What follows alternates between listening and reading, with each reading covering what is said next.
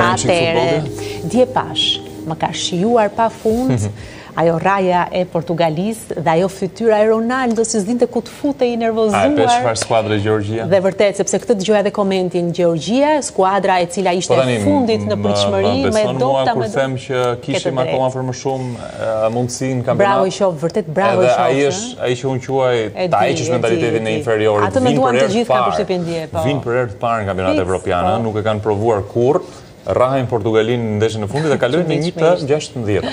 Ishte vërtet një ndeshje fantastike. Kjo është Gjorgjia, unë besoj që do të shkojë larg Gjorgjia, po luajti po si ajo ndeshje e djeshme. Po dhe Turqia nuk ishte keq dhe ajo pati një sukses tjetër, kështu që Do t'i komentojmë. Kam parë. Këto ndeshje nuk po jo, ajo dje. Dhe dje nisa Gjeorgji Portugali thashë po e shikojmë, dihet që do fitojë Portugalia. Hmm. Pastaj kur hapa televizorin dhe shoh që ishte 1-0. Oh, pa dale një herë. Prit se qenka interesante. Kur pastaj fytyrën e Ronaldos ishte spektakël. Aty mora kënaqësi pastaj.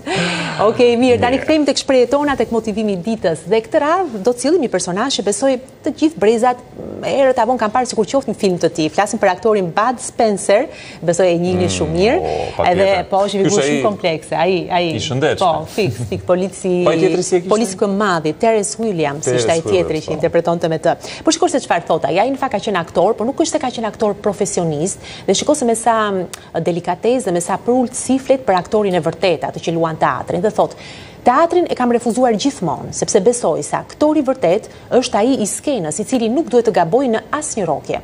Në kinema, pas dublës së dyzet, edhe një majmun mund të aktrojë mirë, ah, thotë Bud Spencer. Qenka shumë modest. Është shumë fantastik, vërtet njeri i jashtëzakonshëm. Po le të themi ca fakte për po, të. Po, i njohim edhe publikun me disa mm, fakte mbi jetën e Bud Spencer, që në moshë të vogël, Ai u apasionua pas sportit dhe veçanërisht notit, me të cilin pati shumë sukses.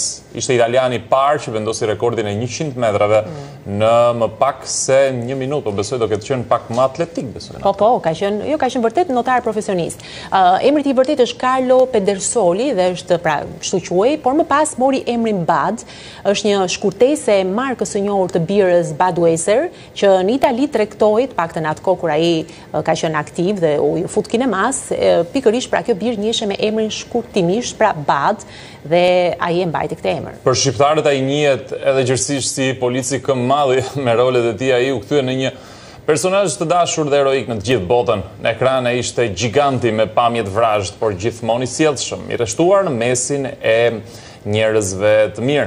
Bud Spencer interpretoi kryesisht në çift me aktorin tjetër me origjinë italiane, Terence Hill, Në filmat, Terence Hill, pra po, atë thashë. Jo, Terence Williams. A, Terence Williams atë thashë? Mm. A, mirë, në rregull. Po, prit, jo, po më vret pak veshin. E dikush e bukra e të dyve? Unë e mbaja mend, po s'po më vinte.